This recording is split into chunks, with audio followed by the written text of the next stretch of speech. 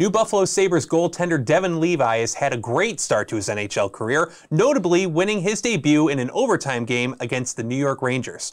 Even with the loss in Sunrise, Florida this week in a critical game against the Panthers, fans who watched the contest could clearly see that the loss was not due to Levi's performance. He stopped several contested shots and even walked off a few breakaway chances from Florida's high-powered offense, something that is a welcome addition to the Sabres team who many feel have been held back by inconsistent goaltending this season.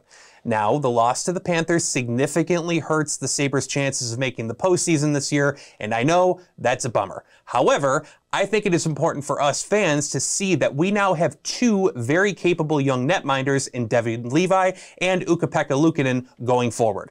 I wouldn't be surprised to see Levi in Rochester at the beginning of next season, considering the Sabres have Eric Comrie locked up for another year, but there is a bright future for the Sabres between the pipes. And as far as this season goes for the Sabres, they've played meaningful games in March and April, something fans have not been witness to in years. The team has earned back the respect from fans, and there is a lot for us to look forward to, even if it has to, yet again, wait until next season.